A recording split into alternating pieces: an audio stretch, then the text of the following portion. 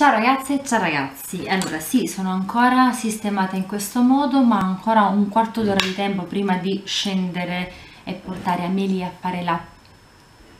non se ne è accorta.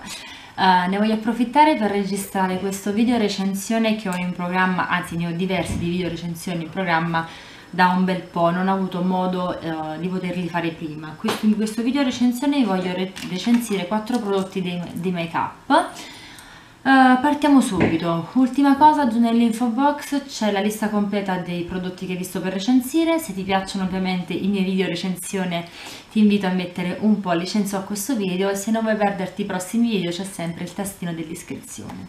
Primo prodotto di cui voglio parlare è questo prodotto del Dr. Pierre Richard o Richard, non so, è la base um, palpebre levigante, uh, 7 ml di prodotto, tra le basi make up forse quella con la confezione più piccolina, però di tutto rispetto è un grandissimo prodotto, questa è la confezione, ha il beccuccio in questo modo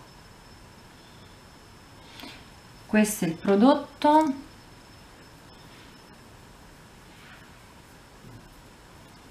lascia sulla palpebra questa sensazione molto setosa uh, fa aggrappare benissimo le matite gli ombretti fa risaltare ancora di più gli ombretti che vai ad applicare sulla palpebra non crea uh, la linea della non, non crisa no? non crea la linea del crease um, forse tra gli ultimi le ultime basi ombretto che ho utilizzato negli ultimi anni è la migliore. Mi piacque tantissimo quella che fece Clio con, con Pupa tantissimi anni fa. Poi le successive che ho utilizzato quella di, di Debbie e quella di Mesauda Dio terribili, proprio terribili, non ne volevo più sentir parlare. Di basi a un certo punto le utilizzavo ma solo mettevo un, un correttore pur di poterle finire. Quando poi ho preso in mano questo prodotto oddio questa è una base mi sono detta. Finalmente dopo anni ho una base ombretto veramente come si deve. Un prodotto che poco fa aggrappare tantissimo l'ombretto esalta i colori modifica e corregge anche leggermente le discromie della palpebra perché è un color nude. Um, mi piace anche nella parte sotto quando voglio sfumare sia le matite che gli ombretti quindi la vado ad appoggiare anche sotto. Che dire è perfetta. Non ho altre, altri aggettivi è perfetta poi secondo prodotto di cui voglio parlare è questa matita labbra della linea formula puro, pura di Deborah. La matita è la numero 02 un nude rosato caldo. Questo è il colore questa è la matita. È una matita uh, molto morbida utilizzata da sola lascia questo effetto nude rosato che illumina molto l'incarnato non tira tantissimo quindi spesso e volentieri la utilizzo anche come rossetto nude su tutte le labbra. Al massimo eventualmente un po' di burro cacao o se proprio il gloss ma tante volte per un effetto molto naturale perché non è né super opaca né scimmerina Ries la lascio così e non mi tira le labbra, mi piace tantissimo.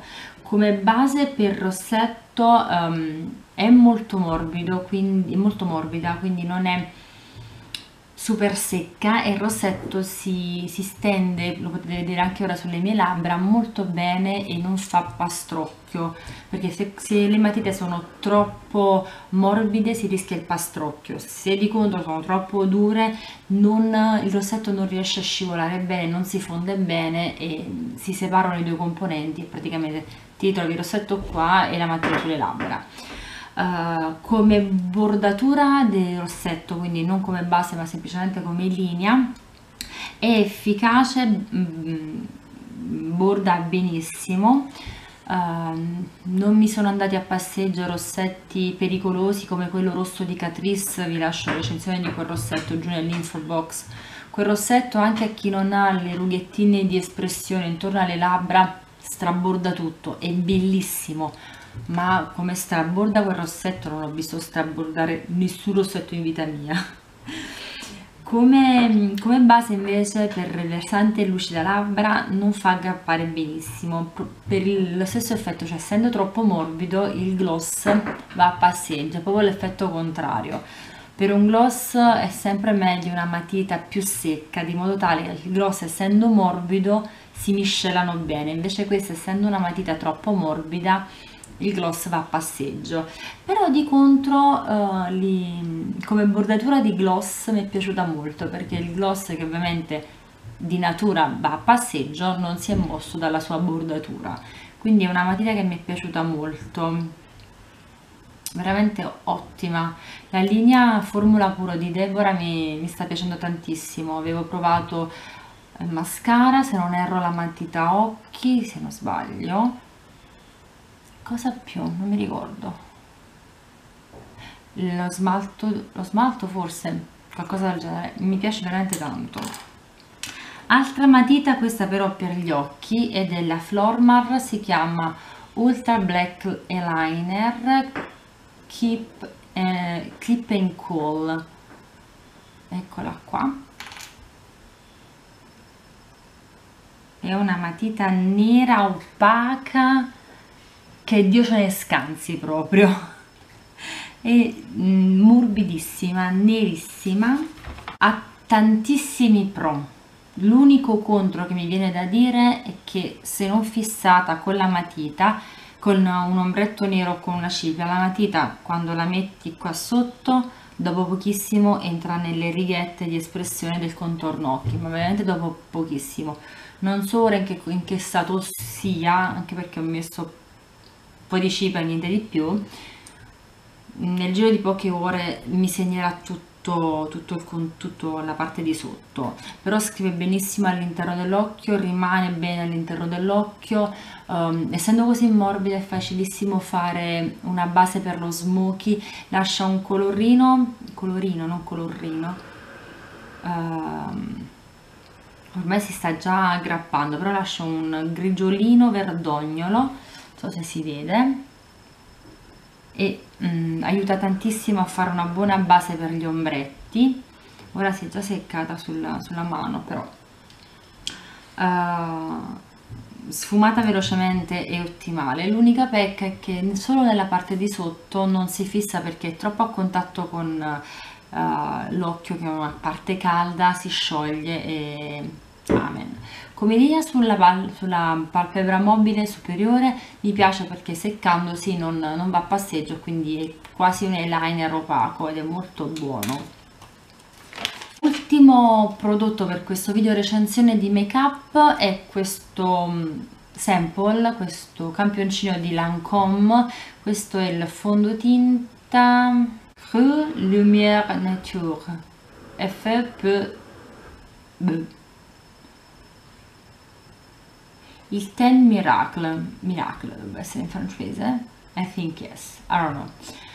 Um, un correttore dell'incarnato, un perfezionatore di, di pelle. No, l'ho trovato molto pesante, non si settava neanche sotto tortura, neanche smettendo la cipria, rimaneva sempre in, um, in superficie. Per poterlo considerare un perfezionatore di pelle andava messo veramente una puntina così e tirato tantissimo ma a quel punto non mi correggeva nulla neanche rossore intorno al naso. Fortunatamente avevo un campioncino e quindi l'ho potuto provare non sono incappata in un errore eh, d'acquisto perché comunque l'Ancom non costa 2 lire parliamoci chiaro. Non mi è piaciuto per niente veramente è una, una cosa terrificante in questo periodo che non ho un fondotinta che ho finito tutti i campioncini tutti i fondotinta sto utilizzando un correttore liquido della L'Oreal se non erro. Se mi ricordo vi lascio il link giù. Quel, fondo, quel correttore utilizzato come fondotinta sfumato con l'ha aiutato a sfumare con la spugnetta in silicone umida. 10.000 volte guardate qua 10.000 volte meglio rispetto a un fondotinta perfezionatore di pelle. Non voglio dire null'altro perché altrimenti mi arrabbio ok mm, per oggi il video recensione finisce qui, io spero che queste recensioni ti siano state utili, se ti sono state utili ovviamente ti invito a mettere un pollice in su a questo video, se non vuoi perdere i miei prossimi video giù nell'info box e qui nell'ultima schermata trovi il tastino dell'iscrizione ti invito a premerlo. Io nulla, ti ringrazio per avermi aperta e ci vediamo nel prossimo video. Ciao ragazze, ciao ragazzi, in gamba!